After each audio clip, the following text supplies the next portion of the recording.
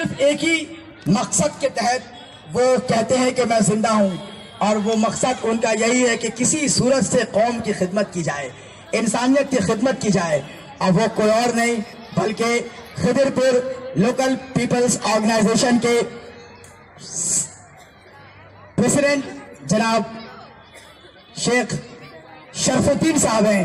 ये शेख शरफुद्दीन साहब हमारे दरमियान मौजूद हैं, जो लीवर के कैंसर में मुबतला लोगों का हार्ट अटैक में, हार्ट के मरीजों का और ब्रेन मैरो में फंसे हुए लोगों का, इन तमाम मरीजों का एक पैसा भी खर्च होने नहीं देते। और सबका मुफ़्त इलाज करते हैं। ये है शेख शरफुद्दीन साहब हमारे दरमियान मौजूद हैं। मैं उनका इस्तेकबाल करता हूँ और मैं चाहूँगा कि उनको भी उनका इस्तेकबाल हो। पहले वो उनका